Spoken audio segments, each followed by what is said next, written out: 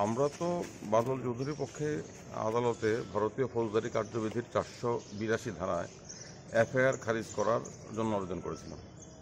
তো চারশো বিশ ধারায় উচ্চ আদালত ইনহারেন্ট পাওয়ার মূলে এফআইআর খারিজ করার সুযোগ আছে, কিন্তু এটা খুব বিরল ক্ষেত্রে করা হয়। উনিশশো একানব্বই সনে ভজনলাল মামলায় সুপ্রিম কোর্ট কতগুলো নির্দিষ্ট গাইডলাইন দিয়ে দিয়েছে সেই গাইডলাইনগুলোর ভিত্তিতেই এফআইআর খারিজ করা হয়।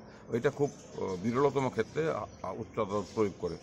আমরা বলেছিলাম যে এই যে অভিযোগগুলো এফআইআর করা হয়েছে, সেই অভিযোগ দাঁড়ায় না। এই অভিযোগগুলো তদন্ত করা যায় না।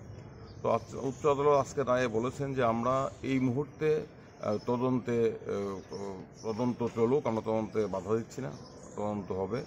উচ্চ উচ্চ আদালত রায়ে বলেছেন যে এই মুহূর্তে অভিযোগের সত্যতা কিংবা যথার্থ যথার্থ যথার্থতা নিয়ে কোনো মন্তব্য করার সুযোগ আমাদের নেই।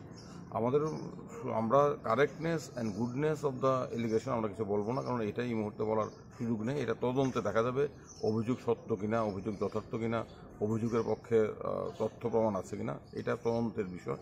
তদন্ত চলুক। কিন্তু এই মুহূর্তে অভিযোগের ভিত্তিতে তদন্ত চলতে পারে, হাইকোর্ট বলেছে। হাইকোর্ট আরেকটা গুরুত্বপূর্ণ কথা বলেছে যে, এফআইআর আমরা দেখেছি এফআইআর মধ্যে চারশো আঠারো ভারতীয় দণ্ডবিধি চারশো আঠারো এবং চারশো কুড়ি ধারা যুক্ত করা হয়েছে।